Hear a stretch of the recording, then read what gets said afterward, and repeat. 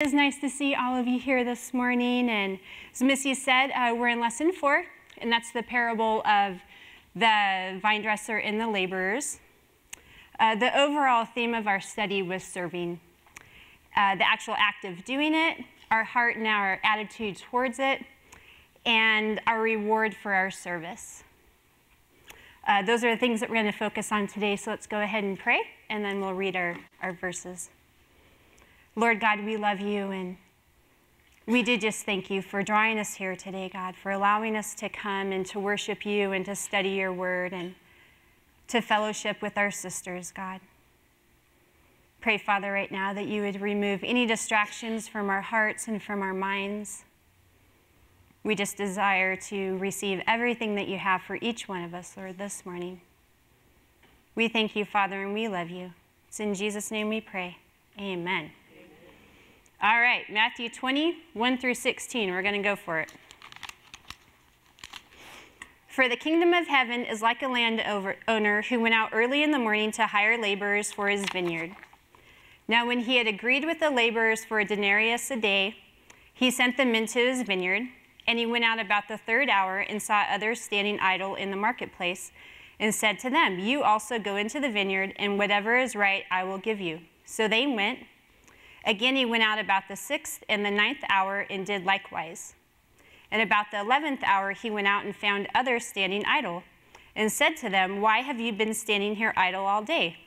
And they said, Because no one has hired us. So he said to them, You also go into the vineyard, and whatever is right, I will give you.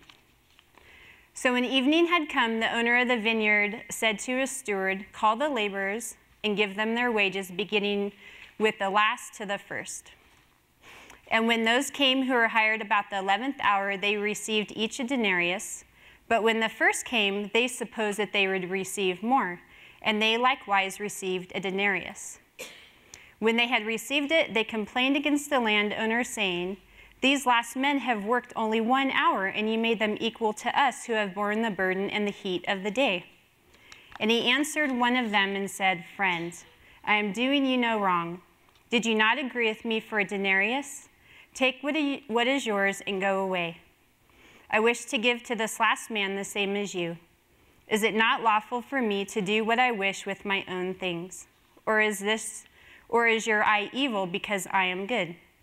So the last will be first and the first last, for many are called but few chosen. A lot of whining and complaining going on in there. So first we're going to look at the actual act of serving. Uh, serving is pretty simple. It's to perform a duty or a job or responsibility. We know that there's always something that needs to be done right, and someone has to do it. Now, in the story, the task at hand was to harvest the crops before they spoiled. They only had one day to do that, so the landowner needed uh, servants to get that job done. Now, in your own life, what's the task before you? In your circle, what is it specifically that needs to get done? You know, there's so many different ways that each of us serves. We serve in our homes, we serve our husbands, we serve our children, our families, our pets. I only say that because my dogs have been naughty lately, and I've been just trying to serve them and love them, and they're rebelling a little bit. But uh, we serve in our workplace, we serve our community, and we serve in the church. Wherever the Lord has us, that's where we serve. And as believers in Christ, our life is a service to Him. 1 Samuel 12 24, only fear the Lord and serve Him in truth with all your heart, for consider what great things He has done for you. Joshua 22 5, but take careful heed to do the commandment and the law which Moses, the servant of the Lord, commanded you to love the Lord your God, to walk in all his ways, to keep his commandments, to hold fast to him, and to serve him with all your heart and soul. Romans 12 11. Never be lacking in zeal, but keep your spiritual fervor serving the Lord. Now, I've been attending here at Calvary since uh, 2000, and I've served the Lord in many different ways over the years, many different ministries. Currently, I'm on staff as the office administrator here, and I serve under Pastor Raj and Pastor Tim and Pastor Steve. Um, I also serve in the Devoted Women's Ministry under Missy and alongside the other leaders. I love serving. I love serving Jesus. I love encouraging others to serve Jesus. I love encouraging you, ladies, to serve Jesus. And you, you women are special. So many of you come up and you say, you know, what can I do for you? What do you need? What, how can I serve? You know, I have a free day, such and such. And it's such a blessing. The contrast is the men that I serve with on Sunday mornings. So we get here Sunday mornings about 7. Sue, she's here with her husband. They uh, are greeters. So I don't know if you see any of this, but we get here and we just get things ready for church and for the different ministries that take place. And I'm also Pastor Tim's assistant, so sometimes he'll give me things that need to be done on his behalf, um, tasks or whatever it is, and he'll say, Can you go ask so and so, whatever it is. So I'll walk up to the men and they'll see me coming across the patio, and they're all standing there in the lobby. And as soon as I come in, they start whispering, and I'll walk up to whoever it is I need to do the task. And uh, they'll just kind of be waiting for it. And I'll say, hey, do you think you can do something for me? And they'll say, well, that depends. what do you mean that depends? Are you going to see if you like it or not? And then you'll decide. And if not, then you'll say no. So I have to pull this, and I don't like to use it, but I have to sometimes with them. I'll say, do you want to serve Jesus? And then they can't say no to that. So have kind of a bad reputation with them, but that's okay. So now I hear him when I start coming, they'll say, just tell, just do whatever she wants you to do. Otherwise, she'll ask you if you want to serve Jesus. So that's how that happens on Sunday mornings. so that's serving. Let's move on to our heart and our attitude when we serve. And I hope you ladies didn't think you're going to get off easy today. So in the parable, we know that different laborers were hired at different times of the day. Uh, maybe the landowner saw that the crops weren't going to be picked in time by sunset, so he went out and he got more help as he saw needed. So when it came time to get paid, the steward had everyone line up uh, from the ones that got there last all the way to the ones that got there first. And I'm just making this scenario up in my head, but can't you just picture the ones that were hired early in the morning, like all day as people are coming in, like working and looking over their shoulders and just probably thinking, oh, you know, they got here last and they're not going to get as much as us. And, but then as they're going through the line and they see that they're all getting paid, you know, the same in a denarius, then they're changing, their thinking changes and they start thinking, well, maybe we'll get more then since they got a denarius and they got here last. Just an aside, never compare yourself in ministry. That is very dangerous thing to do. Just keep your head down and serve Jesus, and that's it. So now we start to see their heart and their true colors come out when they find out that they're all getting paid the same. Because they received a denarius just like the ones that were there for an hour, and they weren't happy about it. So they confront the master and they start talking about what's fair and what's not fair and blah, blah, blah. And later we'll see the master's response to that. But let's talk about our heart when we're serving Jesus. What's our heart attitude? Philippians 2:14 Do everything without grumbling or complaining. Some of your Bibles say disputing without arguing and disputing. I found this version in the NLV Bible. I don't know what that is, so I don't recommend it until we see if it's a good version, but I really like this one.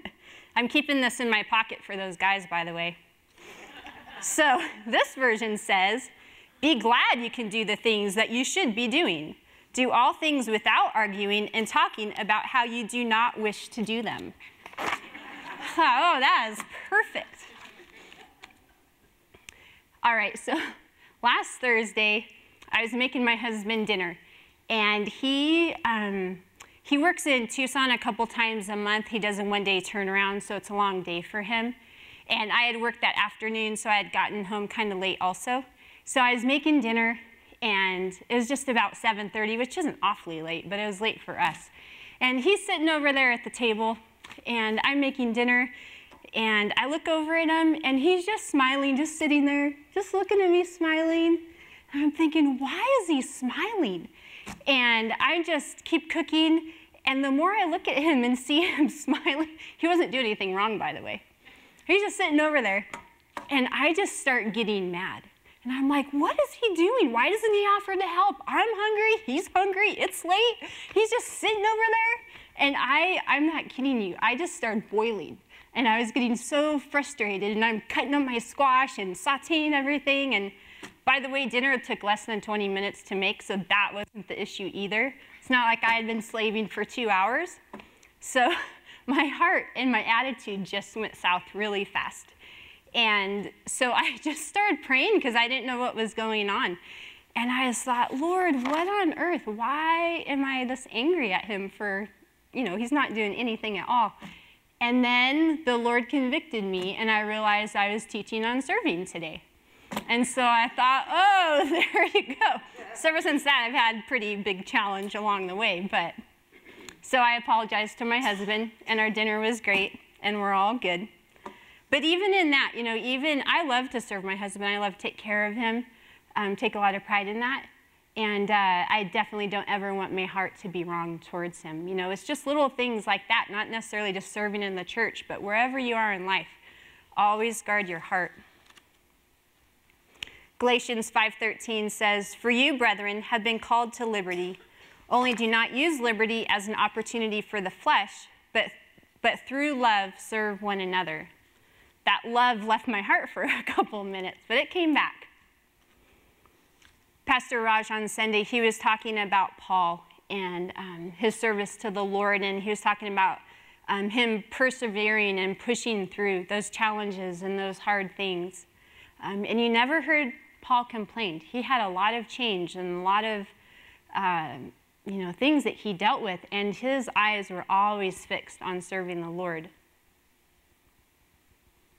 When we serve, it should never be for recognition, uh, to be noticed, or even to be praised. Our gifts and talents and our abilities that we have come from Him, and they should be used for Him. And our main goal, and I feel like I say this every time I'm up here, but our main goal in our life in using our gifts and talents should always be to bring glory and honor to the Lord.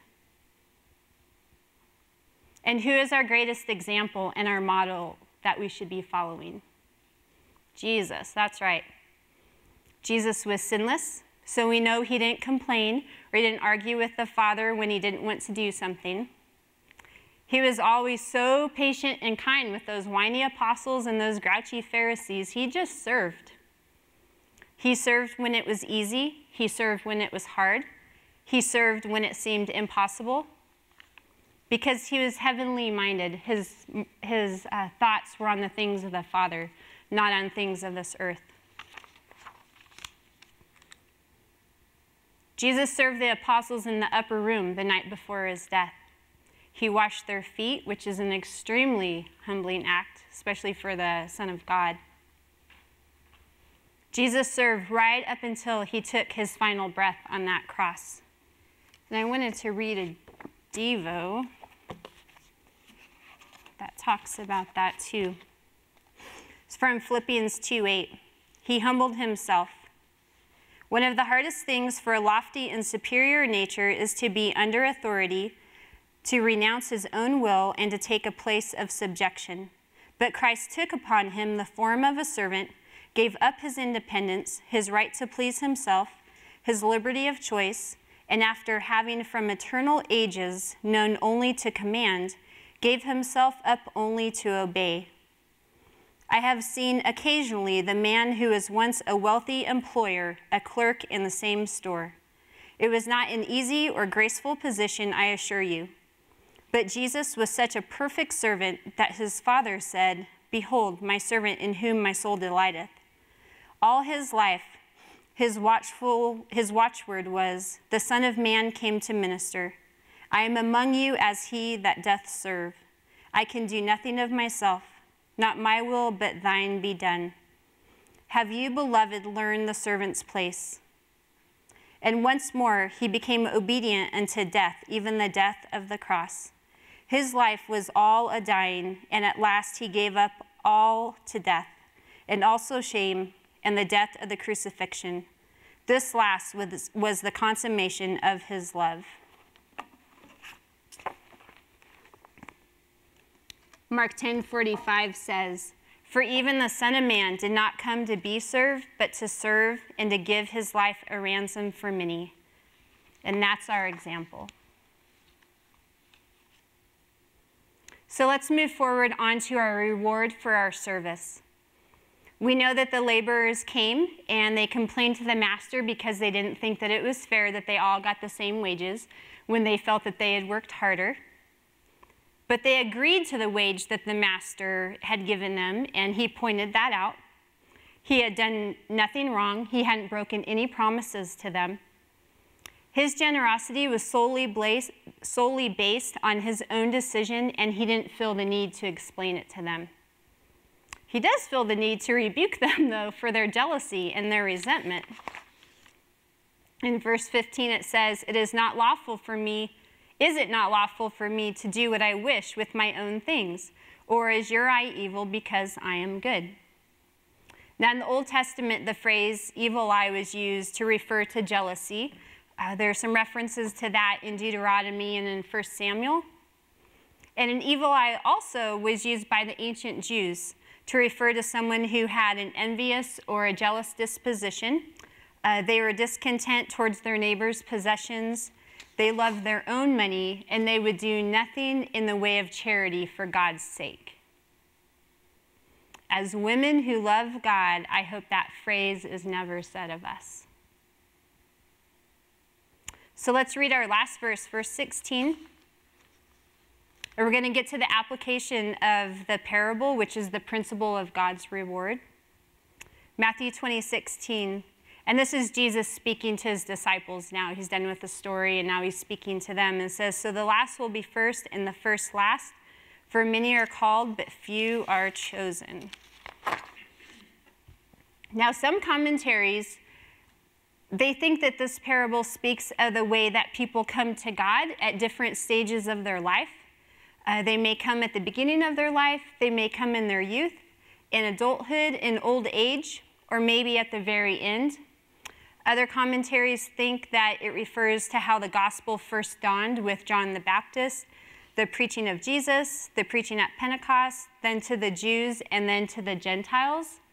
But I think the overall uh, consensus was that it's best understood as a parable about grace and reward. So the last will be first and the first last. This is the essence of God's grace.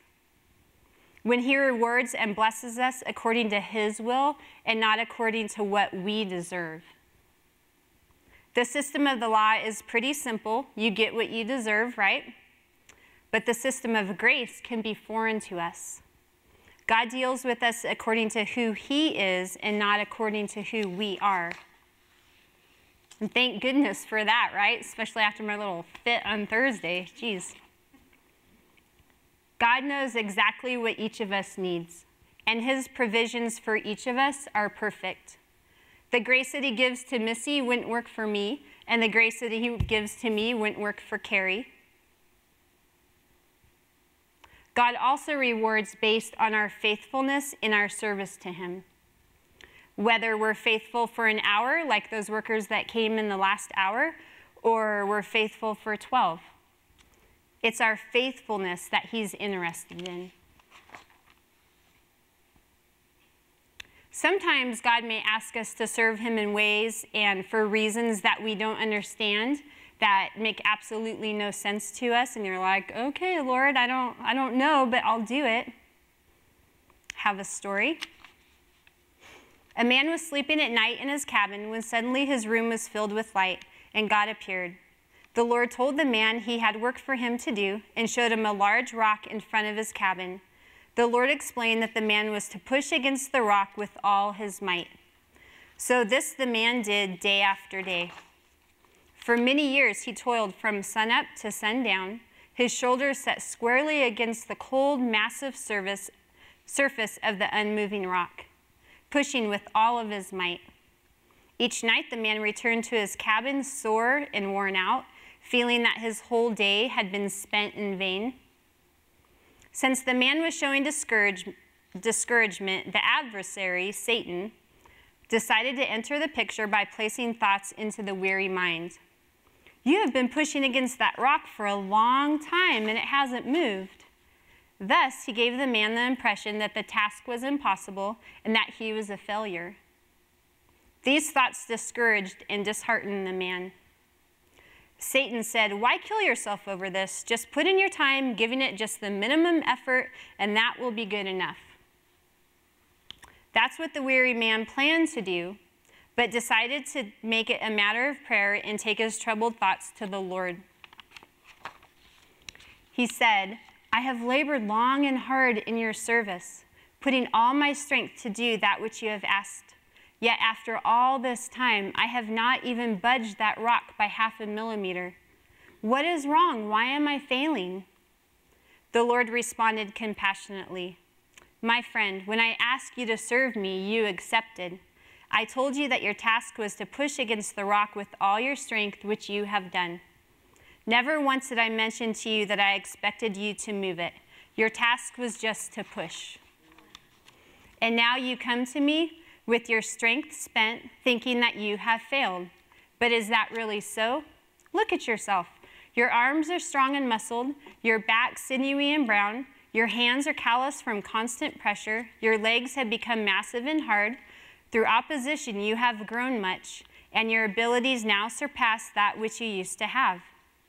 True, you haven't moved the rock, but your calling was to be obedient and to push and to exercise your faith and trust in my wisdom. That you have done.